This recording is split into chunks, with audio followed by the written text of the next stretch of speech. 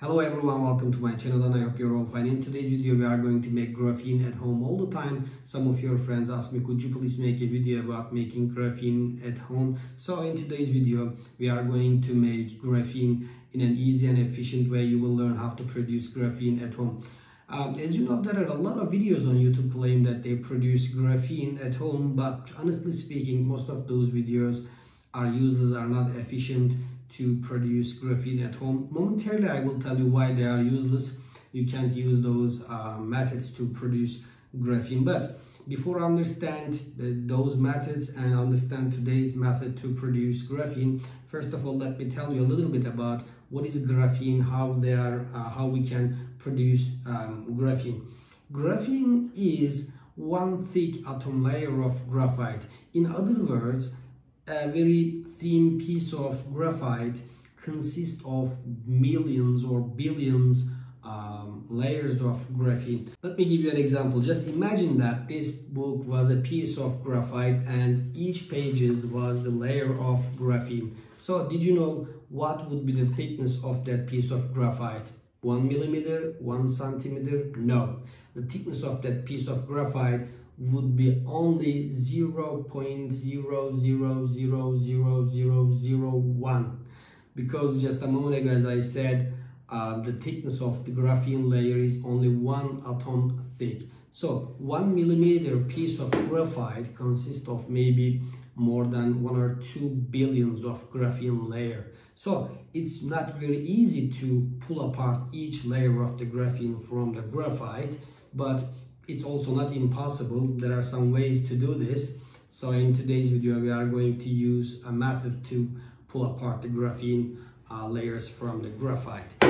Okay, before I get started to make graphene at home, I want to just talk about those videos on YouTube claim that they produce graphene and I want to talk about the methods they are using in those videos. The, there, there are basically two methods of producing graphene um, on those videos. The first one is they put uh, dish detergent into water and just put uh, graphite powder and mix for a long time to produce graphene. It's a good way, it's possible because the um, dish detergent will um, make a friction force with uh, graphite and it will uh, produce graphene. But here is there is a problem the detergent will mix the graphene uh, solution into the water so after it dry it's almost impossible to remove away uh, the detergent from the graphite. So we need to dry because of uh, it's a mix of detergent and graphene graphene so the conductivity of the graphene will be very low so you can't use um, those graphene very efficiently. And the second method they are using in those videos the electrochemical way of producing graphene. They just um, put a compound, electrolytic compound like potassium hydroxide or sodium hydroxide in the water and make an electrolyte. They just put um, two graphite rods or graphite into it and when you give the electricity, it will electrolyzes in the solution in the electrolyte and the graphite will um, turn into graphene. But again, in this method, the, the problem is also this, almost the same. Uh, the electrolytic compound, sodium hydroxide or potassium hydroxide, whatever you call it, again will mix the graphene and when you dry it, the conductivity of the uh, graphene will be very low. It won't be pure graphene, so you can't use again those uh, graphene in any application. But today I am going to use a very new method invented by me on YouTube or on Google or any other places you can find this method.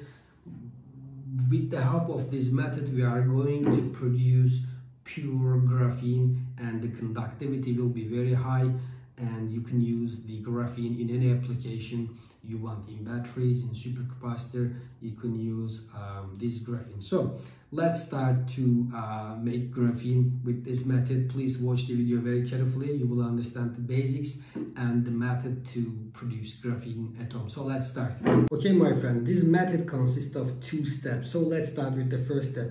I have a jar here and i have some ultrafine graphite powder I will put the graphite powder into the jar.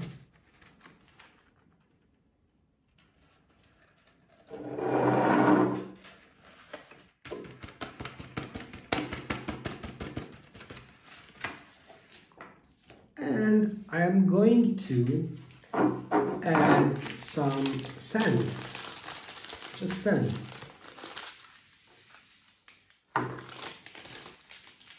But before put the sand into the graphite powder. I need to wash it to uh, clean it from the dust or any other um, particles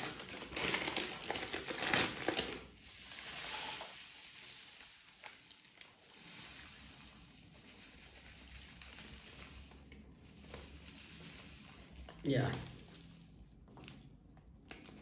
I'm going to wash the sand. Put some water inside it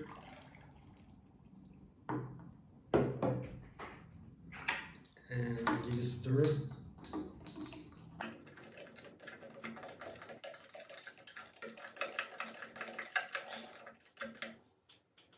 you see dirty water here. We need to wash this sand because when we put this uh, sand into the graphite this dirty water will mix the graphite. We don't want it so we need to clean the sand.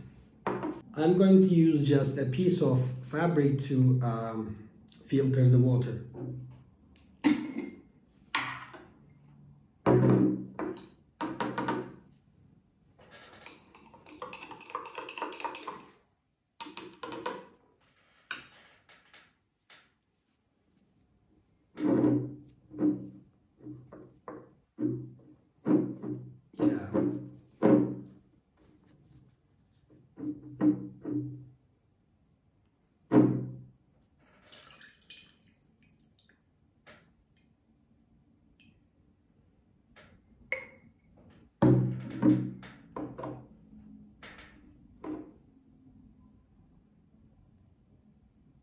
okay you see we filtered the dirty uh, water. And I will put some more water. I will filter twice to make it completely clear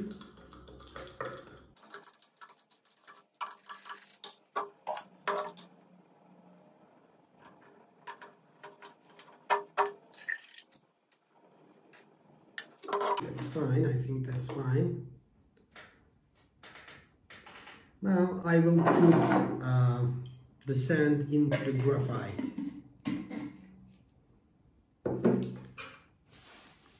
I'm going to mix them.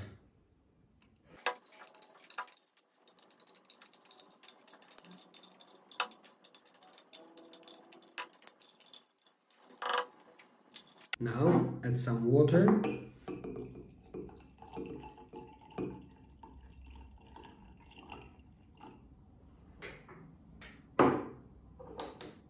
and give a stir. Okay my friends you can ask me what is the logic of this process. The logic of this process is that when we blend the solution uh, sand and graphite solution with a blender there will be a friction force between the sand particles and between the graphite particles. So this friction force will uh, grind the graphite it will be very very small very tiny particles so it will be very easy to produce graphene for the second step. Okay. Now I'm going to use this electric blender homemade electric blender to give a stir to the solution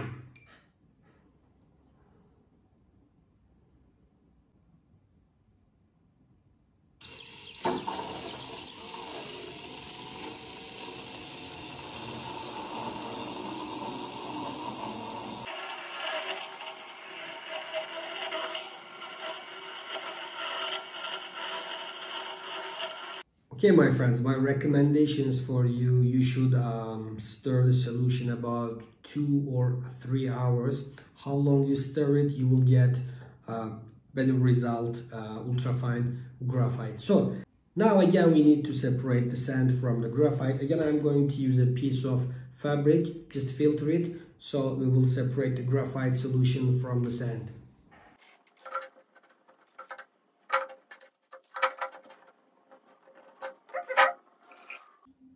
That's beautiful. We separate uh, the sand from the graphite. Now, it's good. I will wash this jar and put the graphite solution into this and we will move on to the second step to produce graphene. Okay, my friends, I will put the solution into this jar.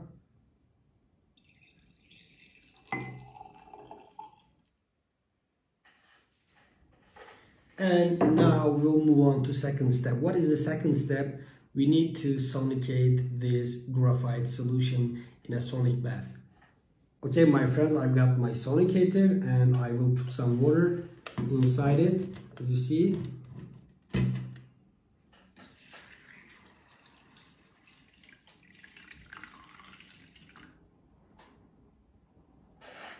Now I'm going to put the jar into the sonic bath, into the sonicator. Again, you have to uh, sonicate the solution about 24 hours or 48 hours. Uh, uh, my sonicator is not very powerful. If you have a powerful, more uh, powerful sonicator, 12 hours or 20 hours will, be enough to um, getting graphene with this method. Okay, I will start the uh, sonicator.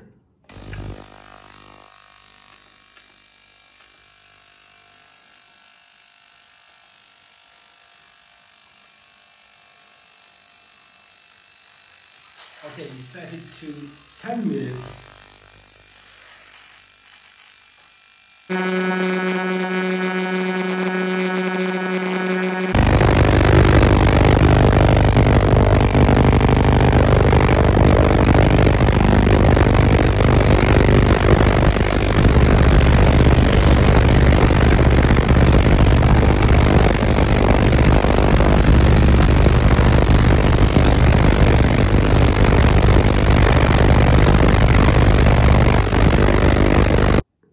Okay, my friends, after 24 hours, you will get this graphene solution into the water. If you put it away and let it dry, you will get a dry graphene. By my, but my recommendations for you, if you dry the graphene, again, when you want to mix it with the water, the graphene won't mix uh, with water, so it will be difficult for you to uh, use those graphene to electroplate or for batteries or supercapacitor. My recommendation is just uh, put it away and let it for uh, let it dry for a while but when it becomes a slurry don't completely dry it when it becomes a slurry just take it and add some um, binder into the graphene and mix it very well. So you can apply this graphene any surface and you can use it for a large surface area application. Of course i didn't have enough time. I just uh, sonicated for one or two hours. So if you sonicate your solution about 24 hours you will get better result